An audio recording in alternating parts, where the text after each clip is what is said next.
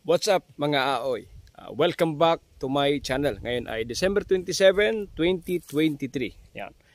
Ang gagawin natin ngayon ay uh, i-video natin yung lahat ng mga na-sprayhan natin na mangga ng mga nakaraan. Almost 20 days na mga aoy nung uh, ginawa natin yung pag-spray at nung time na yon ay 20 puno o 20, 20 puno ang ating na-sprayhan at awa ng Diyos ay uh, magaganda lahat halos ng kanilang mga bulaklak. Ito, ito sa likod namin mga aoy. Dito rin tayo gumawa ng video nakaraan, ang ating uh, intro ng nakaraan ating video dito sa uh, site na to. Ayan. Papakita natin ngayon mga aoy yung lahat-lahat ng ating mga na-sprayhan. I-video natin.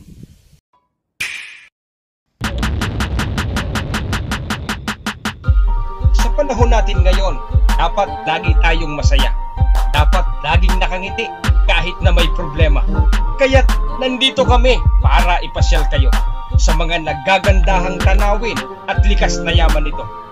Subukan din nating tikman ang mga pagkaing nakatatakam sa iba't ibang lugar na meron ang Palawan. Gawin din natin ang mga gawain ng isang Palawenyo para lalo itong makilala sa likas na yaman nito.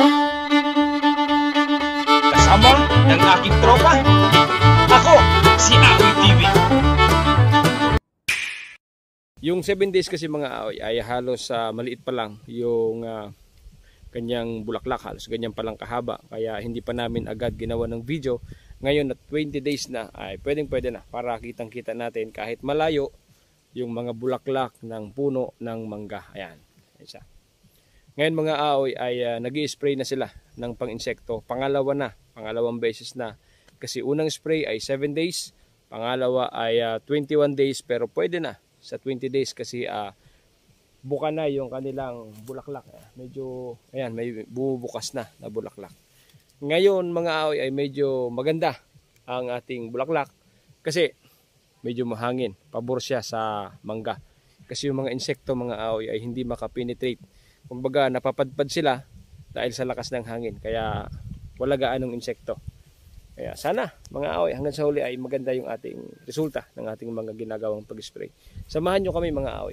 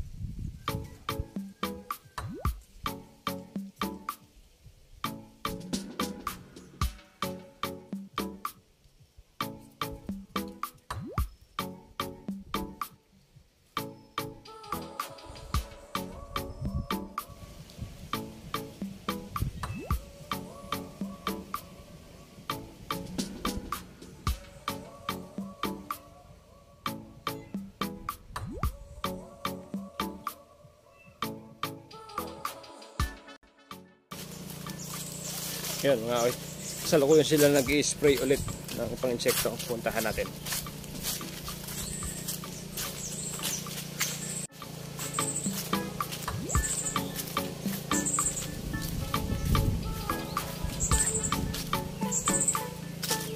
Yun, si Vincent pa rin.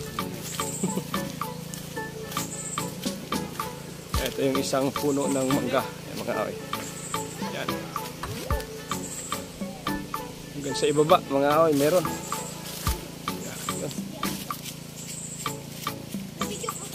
Yes. Ganda ng kanyang kanilang mga bulaklak, mga aoy.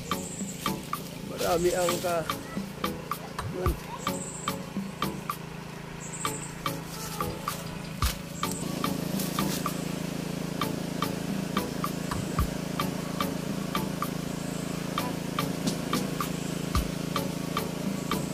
ganda ng ka ganda ng uh, labas oh mga oy halos tatlo sa isang dahon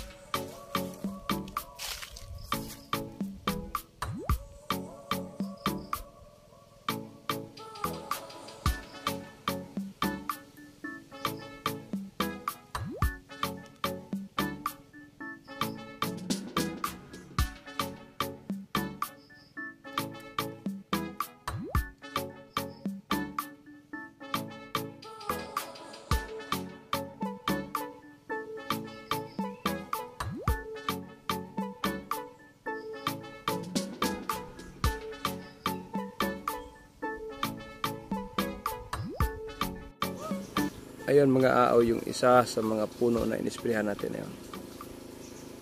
hindi na tayo lumapit doon sa kasalukuyan nag spray dahil sa medyo malakas yung gamot na pang insekto ayun mga aaw yan. Maganda yung kanilang mga bulaklak.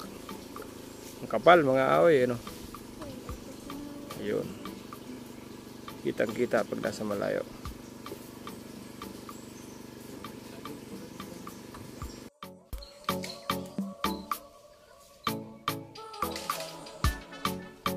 Mm.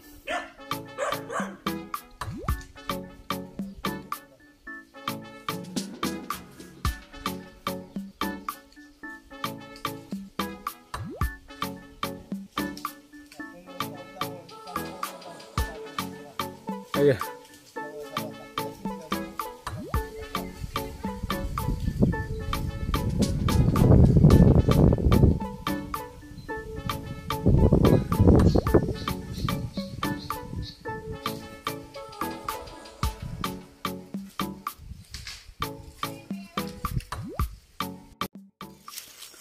At dito tayo ngayon mga aoy sa isang puno na kung saan unang-una sa lahat ng puno na ating inisprehan. Ayan. Ito mga aoy ay bumuka na yung kanyang bulaklak. Kaya pag nandito kayo, naaamoy yung uh, scent ng parang matamis. Talagang as in mangga na. Ayan. Papakita namin sa inyo mga aoy yung uh, kanyang bulaklak.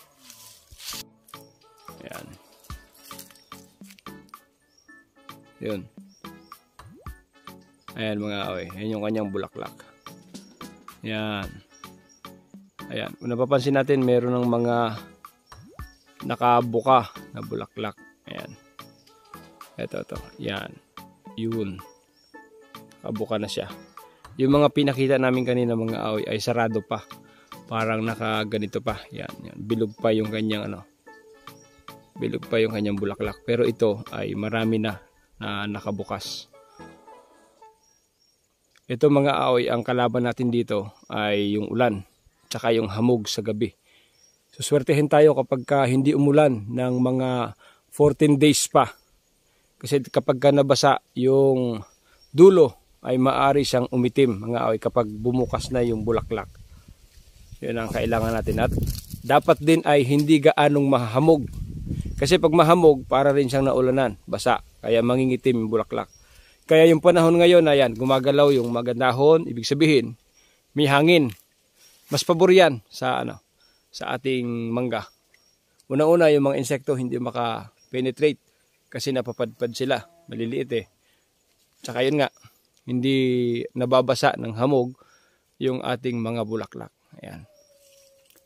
Ito, maganda rin yung kanyang bulaklak, mga aoy. Oh. Ito yung una sa lahat na ating inisprehan talaga. Yun.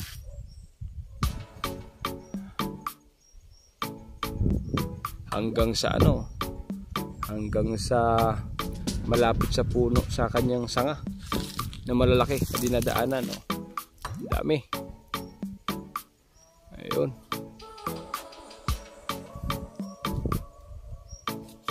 Ayan. At yun, mga aoy. Thank you so much ulit for always watching my video. Kaya sana patuloy nyo kaming samahan sa mga susunod pa naming mga video, mga aoy. Medyo nakaka-excite kasi 20 days na, 21 days, so 120 days ang kailangan para sa harvest time. Oh, harvest time na yung pinag-uusapan doon mga aoy. So meron na lang tayong halos 100 days na inaantay. Kaya sana patuloy nyo kaming samahan sa lahat ng aming mga video mga aoy. Sa mga bago lang sa aking channel, please don't forget to like, subscribe, and share para updated tayo sa ating mga video.